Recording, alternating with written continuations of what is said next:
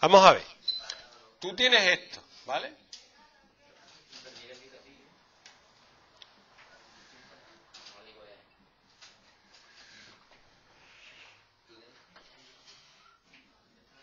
Tú esto lo puedes resolver y tiene una solución, ¿vale?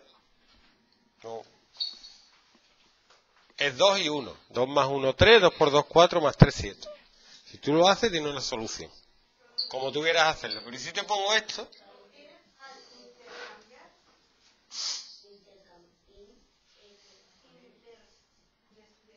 te pongo eso, ¿tú qué haces?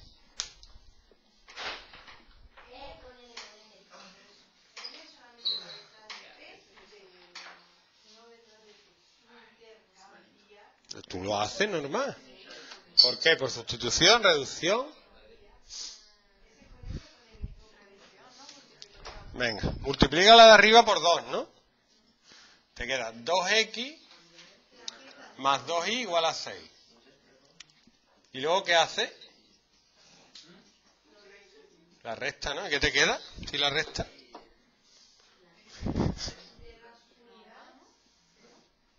Bueno, pues esa solución, esa, esa, ese sistema tiene infinitas soluciones. ¿Ves tú cómo las has dado? El caso es que te quede 0 igual a 0. Si te queda todo 0 o lo haces por sustitución, te queda 0 igual a 0, quiere decir que tiene infinitas soluciones. ¿Vale? Y luego el otro caso es este.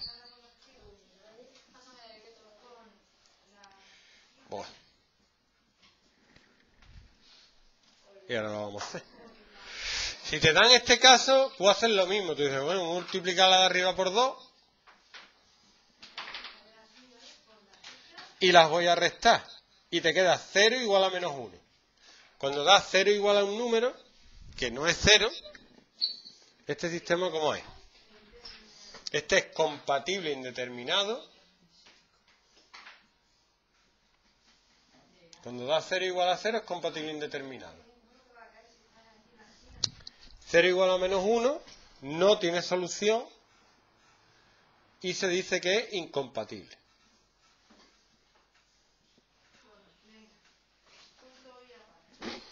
¿Vale?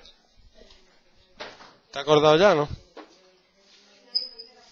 Pero era esto. ¿Tú cómo lo hacías? Por reducción. Es que lo hagas como lo hagas, al final te va a quedar aquí 0 igual a 0. Y aquí 0 igual a un número. El caso es que la X y la Y se te vayan.